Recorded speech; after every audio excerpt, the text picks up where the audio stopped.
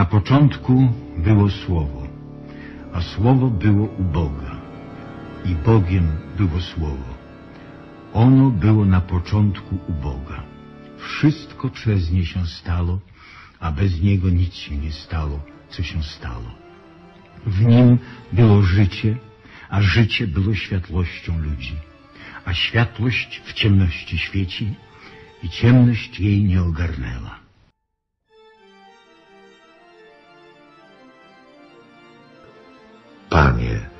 Ile razy mam przebaczyć, jeśli mój brat wykroczy przeciwko mnie? Czy aż siedem razy? Jezus mu odrzekł, nie mówię ci, że aż siedem razy, lecz aż siedemdziesiąt siedem razy. Dlatego podobne jest Królestwo Niebieskie do króla, który chciał się rozliczyć ze swymi sługami. Gdy zaczął się rozliczać, przyprowadzono mu jednego, któremu był winien dziesięć tysięcy talentów. Ponieważ nie miał z czego ich oddać, Pan kazał sprzedać go razem z żoną, dziećmi i całym jego mieniem, aby tak dług odzyskać. Wtedy sługa upadł przed nim i prosił go, Panie, miej cierpliwość nade mną, a wszystko ci oddam.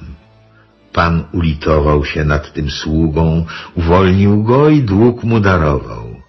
Lecz gdy sługa ów wyszedł, spotkał jednego ze współsług, któremu był winien sto denarów.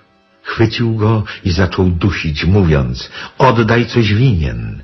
Jego współsługa upadł przed nim i prosił go, miej cierpliwość nade mną, a oddam tobie.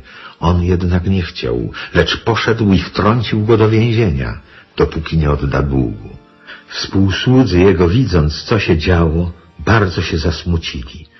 Poszli i opowiedzieli swemu panu wszystko, co zaszło. Wtedy pan jego wezwał go przed siebie i rzekł mu, sługo niegodziwy, darowałem ci cały ten dług, ponieważ mnie prosiłeś. Czyż więc i ty nie powinieneś był ulitować się nad swoim współsługą, jak ja ulitowałem się nad tobą? I uniesiony gniewem Pan jego kazał wydać go katom, dopóki mu całego długu nie odda.